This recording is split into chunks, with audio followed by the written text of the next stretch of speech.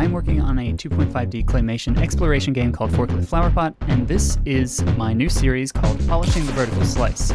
I'm going to be spending 12 weeks working on this demo of my indie game and trying to get it more polished. I recently uh, pitched this game at a game conference uh, near me, but it was to like a fake publisher. But I did tell them that I would have the vertical slice done by the end of July, so that deadline is kind of looming in my head. And I, even though I have a playable demo here, I still feel like I want to polish it up and make it a better experience. I've identified 12 areas where the Forklift Flowerpot demo needs some love to be a true vertical slice and I plan on spreading that throughout 12 weeks. So, really quick, here are those 12 things that I need to get done.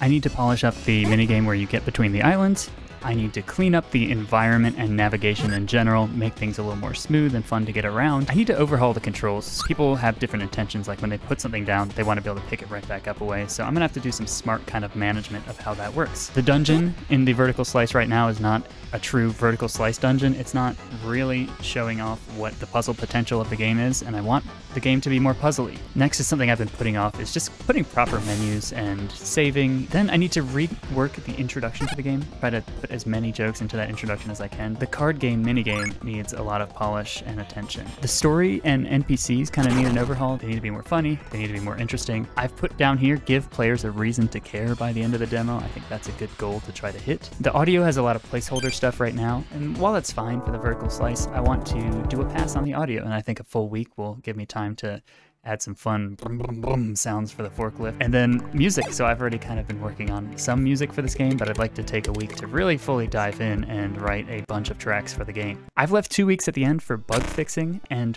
one for just fun jokes. You know, this is like your, your free week here. I'm gonna try to have one of these little devlog videos done every week. Do be aware, I may fail at this. I will probably miss a week here or there, but that's just kind of part of what game development's all about. So I hope you stick around and see how this series goes for me over the next 12 weeks. We'll see what happens.